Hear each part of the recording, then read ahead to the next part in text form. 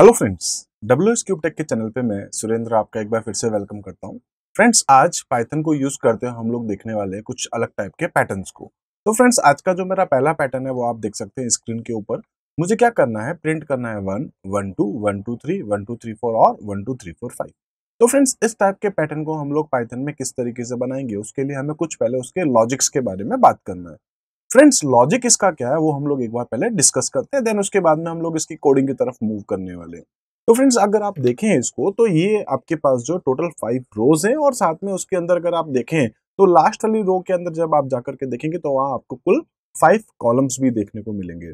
तो मैं कह सकता हूँ कि सबसे पहले जो आपके पास है, वो रो नंबर वन है देन उसके बाद में row number two row number three row number four and row number five है। फ्रेंड्स इसी तरीके से आप देख सकते हैं यहाँ पर जो कॉलम्स है, जैसे हर रो के अंदर फ़र्स्ट कॉलम में प्रिंट होता है वन, ठीक है?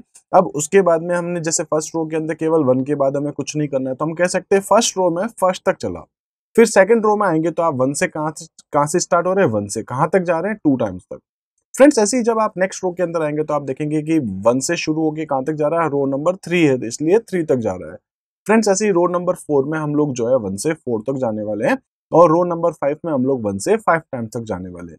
तो फ्रेंड इस तरीके से हम लोग ये कह सकते हैं कि यहाँ पर जो आपके कॉलम्स हैं, वो डिपेंड किसके ऊपर हो रहे हैं? रो के ऊपर। तो फ्रेंड्स हमको यहाँ पे क्या करना है? रो की वैल्यू को और कॉलम की वैल्यू को समझना है। अब देखिए रो की वैल्यू कहाँ से कहाँ तक है? वन से कह सकते हैं हम लोग कहाँ तक? फाइव टाइम्स तक। कॉलम कहाँ से शुरू होता है? हमेशा वन से शुरू होता है। खत्म कहाँ होता है? तो वो डिपेंड करता है आपकी रो के ऊपर। मतलब कह सकते हैं वन से वन तक वन से टू वन से थ्री वन से फोर वन से फाइव तो हम लोग कह सकते हैं कि वन से ये आर टाइम्स तक जाने वाला है। तो फ्रेंड्स, इस टाइप के पैटर्न को बनाने के लिए हमें यहाँ पर रो और कॉलम दो अलग अलग वेरिएबल चाहिए, जिसको हम लोग यूज़ करने वाले हैं लूप के लिए। ठीक है अब लूप क्या होता है, आप जानते हैं, क्योंकि कुछ स्टेटमेंट आपको बार बार प्रिंट करना है। एज्यूम कर सकता हूँ one two three four five मेरे पास कोई वेरिएबल है सपोज़ सी जिसमें मैं कॉलम्स की वैल्यूज़ को सेट करता हूँ लाइक कॉलम को वन रखता हूँ, फिर कॉलम को इंक्रीज करता हूँ टू थ्री फोर फाइव इस टाइप से हम आगे बढ़ते हैं। तो फ्रेंड्स मैं क्या कर रहा हूँ? कॉलम की वैल्यू को प्रिंट करता हूँ कभी वन उसके बाद में उसको इंक्रीज करके टू उसके बाद में थ्री उसके बाद में फोर और उसके बाद में फाइव को सेट करता हूँ। तो फ्रेंड्स आप देख सकते हैं यहाँ पर कि जो कॉलम है वो one two three four five को प्रिंट कर सकता है, ठीक है?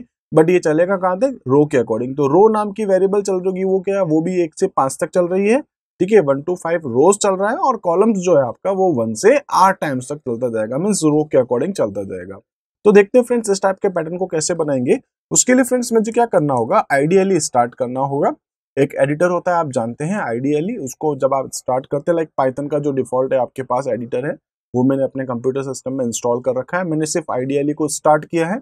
जैसे फ्रेंड्स आप आइडियली पे आते हैं, आप देखते हैं, यहाँ पर आपके सामने जो प्रोग्रामिंग के लिए जो शेल है, वो आपके सामने मीन्स यहाँ आप जो कुछ भी लिखेंगे लाइक आप जानते हैं, अगर मैं यहाँ पर प्रिंट में जाकर के लिखता हूँ हेलो वर्ल्ड ठीक है? आप जो कुछ भी लिखेंगे, वो एज इट इज़ उसको प्रिंट कर देगा, जैसे हेलो वर्ल्ड तो यहाँ क्या है कि हमारा प्रोग्राम सेव नहीं है। बस आपने जो स्टेटमेंट टाइप किया है, वो स्टेटमेंट एग्जीक्यूट हो गया और आपको सामने शो कर दिया। इन केस अगर आपने कहीं कुछ लिखा लाइक मैं यहाँ पर जैसे सी की प्रोग्रामिंग करते हैं, आप जानते हैं वहाँ प्रिंट की जगह प्रिंट एफ़ लिखते हैं सी में, और मैं यहाँ पर जाकर के लिखता हूँ हेलो वर्ल्ड फ्रेंड्स इस तरीके से जब मैं एंटर करूँगा तो यहाँ एरर आ जानी चाहिए। आप देख सकते हैं यहाँ पर एरर आ चुकी है।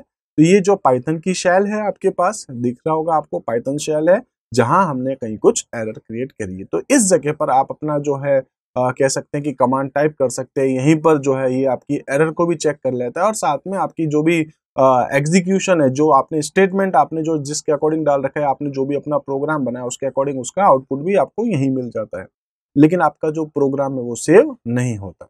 तो फ्रेंड्स, अगर आप चाहते हैं कि आपका कोड जो है वो फ्यूचर के लिए सेव हो ताकि आप बाद में कभी और उसको यूज़ कर सके या उसी प्रोग्राम को कभी मॉडिफाई कर सके तो उसके लिए फ्रेंड्स आपको क्या करना पड़ेगा? आपको अपने प्रोग्राम को सेव करने के लिए प्रोग्राम की एक फ़ाइल बनानी पड़ेगी। तो फ्रेंड्स, आप क्या करेंगे? फ़ाइल मेन्यू पे जाकर के क्लिक करेंगे। आप देख सकते हैं फ़ाइल के अंदर सबसे पहला ऑप्शन ही क्या मिल रहा है आपको?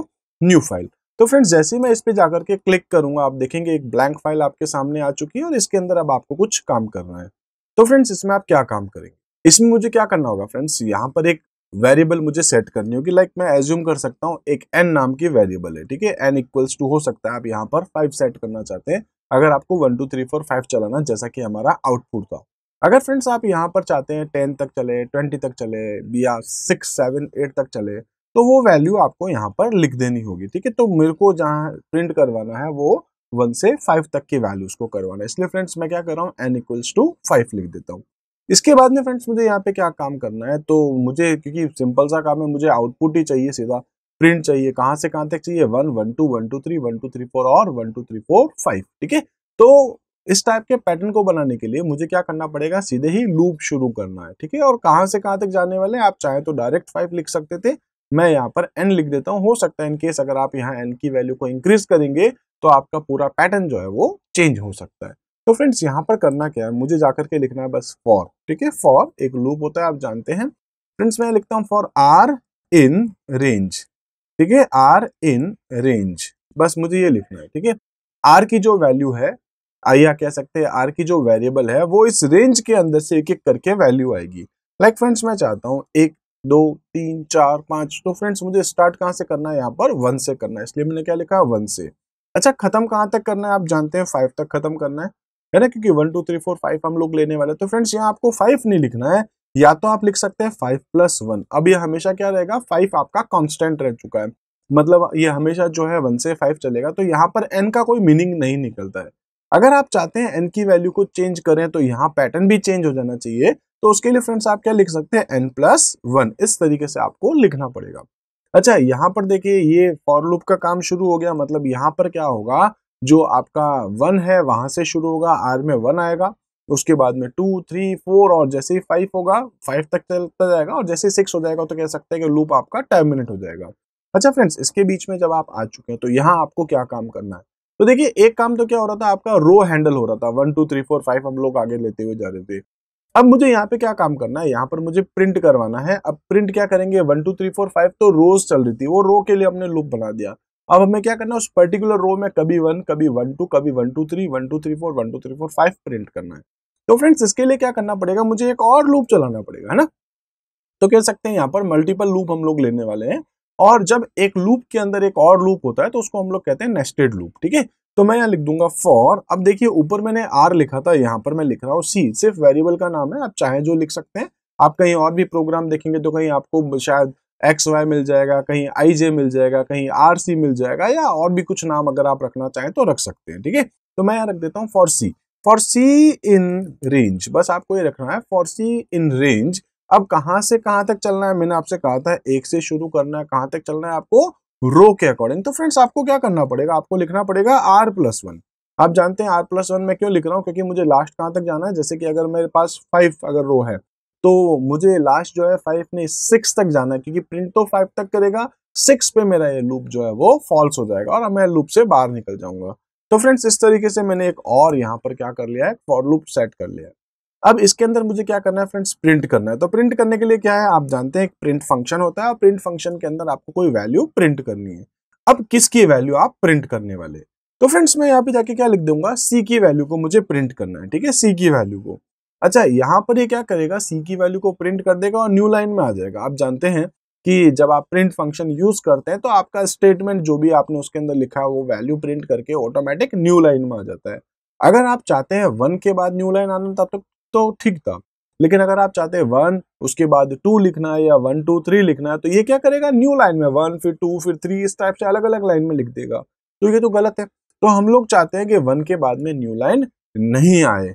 ठीक है तो इसके लिए फ्रेंड्स आपको यहाँ पे क्या करना होगा, आपको जाके लिखना होगा end equals to blank double quotes में आपको ब्लैंक रखना होगा। इसका मतलब हो गया कि एंड जो है, वहाँ पर क्या करना है, आपको न्यू लाइन में नहीं लेके आना है। डिफ़ॉल्ट क्या होता है स्लैश एंड न्यू लाइन के लिए। ठीक है तो मैं लिख रहा हूँ एंड इक्वल्स टू ब्लैंक मतलब आपको न्यू लाइन नहीं क्रिएट करनी तो फ्रेंड्स इस तरीके से जो है प्रिंट फ़ंक्शन अपना काम करेगा।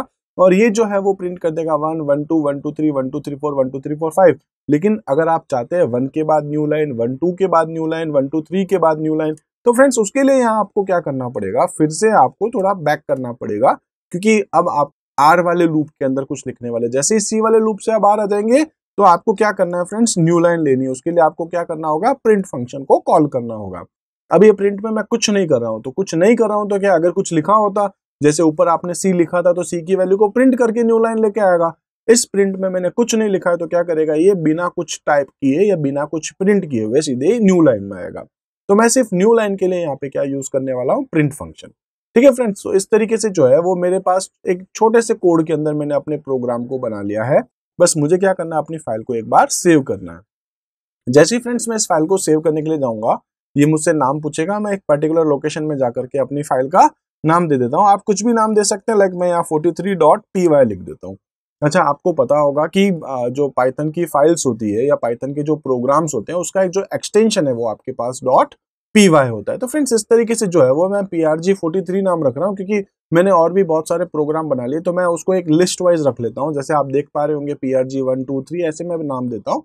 आप अपने अकॉर्डिंग कुछ भी नाम दे सकते हैं, नाम में कोई इशू नहीं है बट आपको यहाँ ये याद याद रखना है कि डॉट के मतलब जो फ़ाइल के नाम के बाद में जब आप डॉट लगाएँगे तो आपको क्या लिखना पड़ेगा? डॉट पी वाई अगर आपने डॉट पी वाई नहीं लिखा है तो फ्रेंड्स ये आपकी एक टेक्स्ट फ़ाइल बन जाएगी जो एग्जीक्यूट नहीं होगी।